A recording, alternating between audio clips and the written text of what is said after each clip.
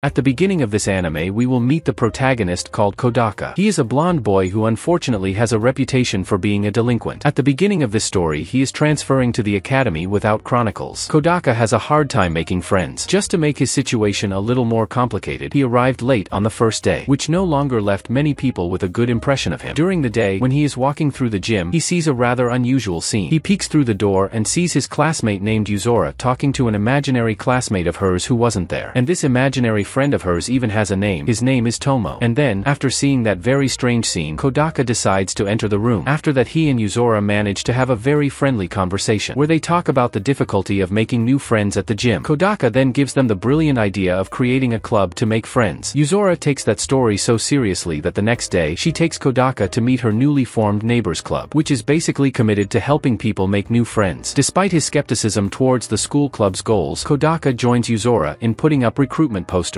We meet another girl named Sena who joins them as they finish their exercises. But Yuzora doesn't like Sena much and so she closes the door behind her, dismissing the girl as the ideal girl for your club. That's because Sena is actually popular and is always being fawned over by the other students. However, Sena insists that they must become friends. And then she says that the people she hangs out with are usually just her doormats. And now she wants to have real friends and their club wasn't for that. After that, while Yuzora and Sena argue all day, Kodaka follows the club's statistics. For their first activity as a group, Yuzora sets up a monster hunting RPG. When the three of them are together, Yuzora looks around and sees a group of friends having fun together. And then she believes that this is a good way to meet new people. Therefore, all three members must bring their copy to the next meeting. When Sena returns, she is bragging about her position, which makes Yuzora completely irritated. Suddenly, during the game, Yuzora and Sena end up attacking each other. The game doesn't improve their relationship at all, because they keep getting in each other's way all the time. Then Sena set up a TV and a games console at the neighbor's club. However, she wants to play a girls game, which she believes is far superior to the monster hunting game. When the girls start playing this game, they choose the most unfavorable reaction to Carrie, who is a pink-haired heroine. As they progress through the game, they leave Kodaka with more and more doubts. Development with Yuki, with the blonde heroine she is using, is hampered as the game progresses, leading to a tragic ending for Sena. Sena, on the other hand, then changes his mind about Carrie the next day. This is after she has completed all the routes in the game. She then gives the game to Kodaka and tells him to play and learn about women. She then reads a few sentences before panicking and crying as she leaves the club room. Later that night, Kabato, who is Kodaka's little sister, is jealous of Kodaka for spending more time with the neighbors club than with her. So, the next day, while watching Sena play another game, Kodaka reflects on his sister's comments. We see Natsum, a heroine of the game with green hair and a swimsuit, who appears in the game and asks Kodaka to teach her how to swim. Since the poor thing never learned to swim before, Kodaka accepts and instructs her to swim in a water park. While Kodaka and Sena are finishing lunch, Sena suddenly decides to get Kodaka in trouble. This is after she insults several boys who were messing with her. Now she forces Kodaka to help her. Sena then praises Kodaka for rescuing her. However, Kodaka is not happy with her for getting him into that trouble. After that, the two leave together on the bus, but they don't even sit next to each other. The next day, Kodaka back at school meets a girl named Maria Takayama. Maria is a 10-year-old teacher who was tricked by Yuzora. She was tricked into becoming the faculty advisor for the neighbors club. Maria is trying to take back a room, saying that she didn't want to be a club advisor. However, Yuzora again deceives Maria by saying that the adults are in charge there. Maria accepts this argument and then Yuzora admits her as a full member of the club. Kodaka later informs Yuzora and Sena about the feeling of being followed. The girls then try to help him, but their efforts only serve to damage Kodaka's reputation. So, later Kodaka arrests the stalker, who was a female child named Yukimura, and she considered Kodaka a role model and watched everything he did. Yuzora then invites Yukimura to join the club so she can learn more about Kodaka. Yukimura accepts that immediately and soon she starts serving Kodaka. The next day at school Kodaka rescues a girl named Rika Shiguma, who is a scientist who passed out in a chemical accident. She meets Kodaka after being saved by him and intends to repay her in a very loving way. To this end, Rika then joins her neighbor's club where she reveals her interest in dirty magazines, especially those with dirty magazines, which makes Yuzora very uncomfortable to know. Then Kodaka realizes that Maria only eats fries, and he then decides to start bringing her nutritious meals. Kabato, on the other hand, is still jealous of Kodaka. Well now it seems like he prefers Maria to her, and while preparing Maria's lunch, Kodaka discovers that Yuzora rewards Maria as a token whenever she does something nice for her. Basically you are buying the child. After finishing Kodaka's meal, Maria starts referring to him as her big brother. Later, Sena finishes another dating simulator, and she wishes she could be inside one because everything is enchanting. The rich scientist, on the other hand, then sets up a virtual reality gaming system, and she then invites everyone to test a beta version of an RPG. When they begin they have conflicting statements about the costumes and talents assigned to the characters, but everything seems to be going well at first as they gain talent and level up. Only the boss phase which, on the other hand, doesn't go as planned because Maria ends up falling asleep and going offline in the middle of the game. Yuzora then takes the opportunity to trick Sena and defeats her, while Sena tickles Yuzora in retaliation. When the game ends, Kodaka is surprised to realize that his sister was playing in Maria's place. Basically Kabato went to meet him in the club room because she was missing him. Yuzora then decides to accept Kabato as an official member of the club. Later that day, Kabato starts climbing into Kodaka's bed, and she keeps saying all the time that she is Kodaka's only sister. It seems like someone here is unhealthy jealous of your brother, right? We see that Kodaka was having a dream about a childhood friend of his who he didn't get to say goodbye to before moving away. Kodaka then woke up with Kabato in his bed. When they are back at school, they talk about the success of their neighbor's club. They were managing to grow the club and they were proud of it. However, at a certain point in the conversation, Sena and Kodaka disagree, and they say they think their reputation was damaged after the club. However, leaving that aside, Sena asks the other members if they have ever visited a karaoke bar, as they continue to discuss the activities they participated in after joining the club. Despite the fact that Kodaka has already been to karaoke before, Yuzora, on the other hand, reports on her previous experience, and she says she visited several karaokes around the city, which arouses the curiosity of all the other members. So, later, they go to karaoke together. After Yuzora underscore tries to get rid of the cashier because she thinks he's overcharging her, they go to the karaoke rooms. Yuzora will share a room with Sena, while the protagonist will be in a room with the other girls. What was supposed to be fun ends up becoming a serious dispute between Yuzora and Sena. When Kodaka is leaving the karaoke room, carrying his little sister on a piggyback ride, he then encounters Yuzora and Sena sitting at the reception with the biggest frown. The dispute between them was not at all friendly, as you can see. But anyway, after karaoke, Sena informs Kodaka that her father is interested in seeing him while they return home. This ends up making Yuzora jealous too. As summer approaches, Kodaka asks Yukimura to take over Maria's lunches. But Yukimura misunderstands what healthy food can be, so she prepares lunch for Maria with only diet products. After discovering that club members don't always show up regularly during the summer, Kodaka proposes another way for them to stay in touch. After they discuss a little about how to do this, they decide to use their own smartphones, as if that wasn't the most obvious option from the beginning. And so, the club members start passing their contacts to each other. The only surprise comes when Kodaka asks for Sena's number and she says she doesn't have a cell phone. Yuzora then starts mocking Sena by pretending to make a phone call in front of her. Later Sena called Kodaka in the middle of the night to ask about the make and model of her phone. The next day, the very spoiled Sena now appears with a new smartphone